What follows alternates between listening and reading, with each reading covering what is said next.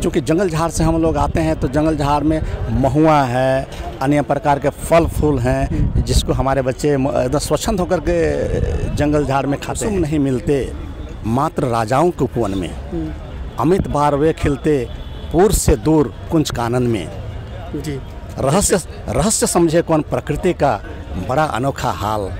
चुन चुन कर गुदड़ी में रखती बड़े कीमती हमारा गुमला जिला का भौगोलिक मैंने लोकेशन ऐसा है भौगोलिक पर- परिवेश ऐसा है कि हमारे पास जन्मजात स्टामिना है। तो आमंत्रित करते हैं देहात के बच्चों को उसको फ्री खाना देते हैं तीन दिन का और उनको खिलाते हैं और खिला करके फिर देखते हैं कि किसमें किस प्रकार का टैलेंट है। Honesty is the best policy ईमानदारी सर्वोत्तम नीति है।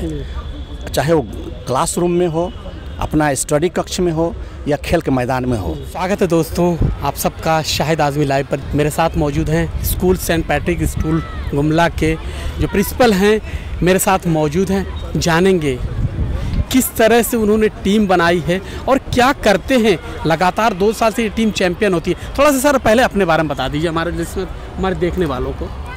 मैं Father Ramu Vincent Minj principal Saint Patrick school Gumla. जी सर कैसे टीम बनाते हैं? देखिए टीम बनाने के लिए बहुत मेहनत करना पड़ता है। जी। और टीम बनाने के पहले स- सिलेक्टर्स लोग की टीम बनानी पड़ती जी, है।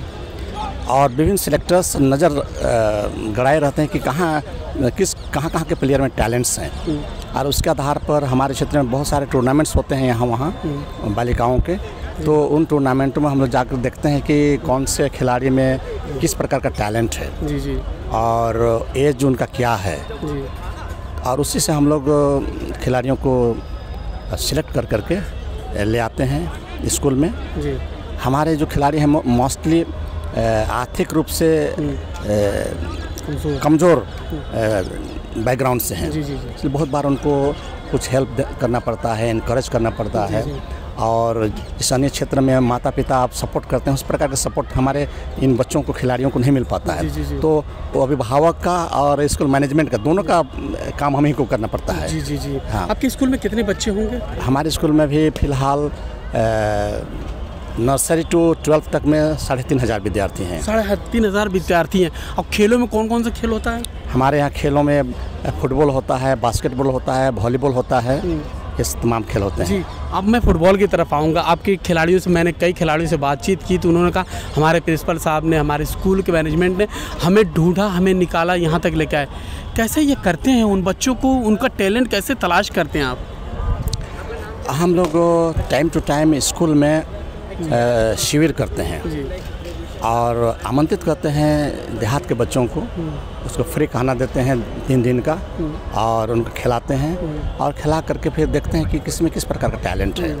और उसे समझ में आ जाता है कि उसका ग्रोथ कैसा होगा और उसमें किस प्रकार का टैलेंट है? और गुमला क्षेत्र की खासियत ये है कि स्टामिना तो जनजात है। जी। हमारा गुमला जिला का भौगोलिक मैंने लोकेशन ऐसा है भौगोलिक परिवेश ऐसा है कि हमारे पास जन्मजात स्टामिना है। वो तो देखने को मिला। जिस तरह का स्टेमिना मैंने देखा पूरा शुरू से मैंने आपकी टीम का मैच देखा क्वार्टर फाइनल भी देखा सेमीफाइनल फाइनल देखा। गजब का स्टेमिना था। लग रहा कभी थकान इनके चेहरे पर नज़र ही नहीं आ रही है। अब क्या खिलाते हैं? देखिए हम लोग देहाती क्षेत्र के लोग हैं और हम लोग के इधर मड़ुआ बड़ बहुत होता है जिसको रागी बोला जाता है। जी जी जी। तो पहले लोग इसको बहुत निम्न किस्म का अनाज समझते थे। लेकिन हम लोग के क्षेत्र में इसका प्रयोग बहुत होता है। जी। साथ ही साथ जो कि जंगल झाड़ से हम लोग आते हैं तो जंगल झाड़ में महुआ है अन्य प्रकार के फल फूल हैं जिसको हमारे बच्चे एकदम स्वच्छंद होकर के जंगल झाड़ में खाते हैं। आपने जंगल झाड़ की बात की लेकिन पूरे इंडिया को आपने हरा दिया है। बड़ी बड़ी टीमें थी नॉर्थ ईस्ट से लेके साउथ से लेके ईस्ट वेस्ट हर तरफ़ की टीम थी। बत्तीस टीमें थीं। इस सुब्रतो कप में सभी चैंपियन टीम थी जो अपनी जगह से सेलेक्ट हो के आई थी। लेकिन कोई आपका मुकाबिल नहीं था कोई मुकाबला नहीं कर पा रहा था। देखिए हम लोग जंगल झाड़ से आते हैं और इसके संबंध में कविवर रामधारी सिंह दिनकर ने एक बहुत अच्छा दोहा बनाया। उसके चार श्लोक चार चार लाइन में कहना चाहूँगा। बिल्कुल बिल्कुल। कुसुम नहीं मिलते मात्र राजाओं के उपवन में। अमित बार वे खिलते पूर्व से दूर कुंज कानन में। जी। रहस्य रहस्य समझे कौन प्रकृति का बड़ा अनोखा हाल। चुन चुन कर गुदड़ी में रखती बड़े कीमती लाल। लाल जी हाँ। प्रिंसिपल साहब ने जो बात बताई ना यकीनन ये हौसला इनकी टीम का बढ़ाता। आज आपकी टीम जब इस प्रतिष्ठित टूर्नामेंट को जीती है पिछली बार भी जीती थी सीना तो चौड़ा हो गया होगा। यहाँ तमाम बड़े बड़े अधिकारी थे अफसर थे एयरफोर्स के बड़े अधिकारी थे जब आपकी टीम को सम्मानित किया था नवाजा जा रहा था क्या महसूस कर रहे थे? मुझको लग रहा था कि हमारे खिलाड़ी चैंपियन हो रहे हैं।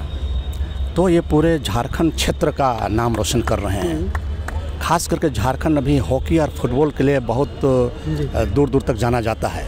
और हमारे ये खिलाड़ी पुनः झारखंड का नाम गुमला का नाम रोशन कर रहे हैं। जी जी। इसी टूर्नामेंट में हमारे गुमला की एक टीम हमारे ए, मेरा अपना जहाँ मैं पढ़ के निकला हूँ संत इग्नासिस की टीम ने दो हज़ार तिरानबे में विदेशी टीम को पराजित करके सुब्रतों का कप उठाया था। जी जी जी। तो हम लोग उस जिला के लोग हैं और इसलिए हमारे खिलाड़ियों ने इन तमाम चीज़ों को मंथन करते हुए और हम लोग सारे लोग उसको मंथन करते हुए खिलाड़ियों को तैयार करते हैं। अच्छा ये बताइए ये बच्चे तो निकल रहे हैं जैसे ये अंडर सेवनटीन से ऊपर जाते हैं इनके लिए आगे के लिए क्या करते हैं? तो स्कूल लेवल है जो बच्चे बेहतर खेलते हैं उनके लिए आगे कुछ राह बनाते हैं? उसके लिए झारखंड सरकार विभिन्न प्रकार के प्रतिष्ठान बना करके चल रही है जैसे एक्सलेंसी एक्सलेंसी केंद्र जो विद्यार्थी निकल जाते हैं स्कूल स्तर से आगे तो ऐसे विद्यार्थियों को आगे बढ़ाने के लिए सेंटर का आयोजन किया जा रहा है व्यवस्था की जा रही है इसको जिसको बोल- जाता है एक्सलेंसी। जी जी जी। हाँ। तो विभिन्न खेलों में इसी प्रकार के सरकार के द्वारा व्यवस्था की जा रही है। सरकार की तरफ़ आप क्या उनकी मदद करते हैं? जैसे उनको आगे बढ़ने के लिए जैसे ये तो स्कूल लेवल की बात होगी उनको आगे बढ़ने के लिए कुछ मदद करते हैं कुछ उनका हेल्प करते हैं किसी तरह से?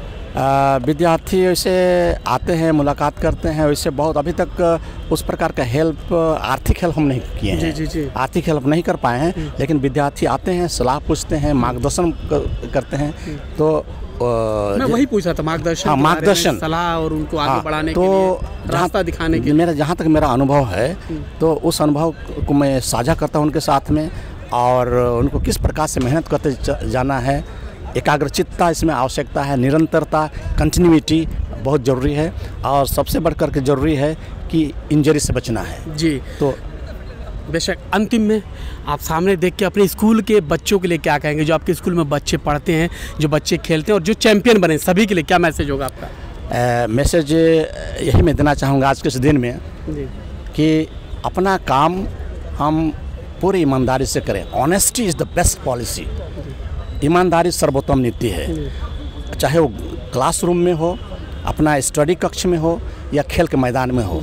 यदि हम ईमानदारी पूर्वक अपना काम करेंगे तो निश्चित रूप से किसी भी क्षेत्र में हम जाएँ सफलता हमारी चरण चुमेगी ये निश्चित है। जी, बिल्कुल। बहुत बहुत शुक्रिया प्रिंसिपल साहब, आपने बातचीत की हमसे और बहुत कीमती बातें की। उम्मीद करेंगे आपके ये बच्चे राष्ट्रीय और अंतर्राष्ट्रीय मंच पे जाएँ। कई टैलेंट आपके स्कूल के मैंने देखे हैं, खासकर अल्फ़ा की बात करें, गोलकीपर की बात करें, उनके अंदर वो क्षमता है कि वो अंतर्राष्ट्रीय मंच पर जा सकते हैं। बस उनको अच्छी तरह मार्गदर्शन की ज़रूरत है, उनकी कुछ मदद करने की ज़रूरत है ताकि वो आगे बढ़ सकें। उम्मीद आप भी इसके लिए कुछ ज़रूर प्रयास करेंगे। निश्चित रूप से जहाँ तक बन पड़ेगा, इन खिलाड़ियों को आगे बढ़ने में हम, जो भी बन पड़ेगा पूरा प्रयास करेंगे। जी, बहुत बहुत शुक्रिया।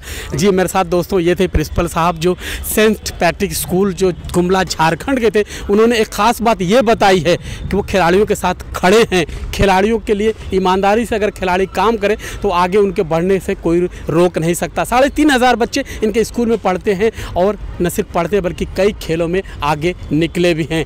दोस्तों, हमारी बातचीत, हमारी रिपोर्ट पसंद आए तो लाइक शेयर सब्सक्राइब कीजिए। बहुत बहुत शुक्रिया। धन्यवाद।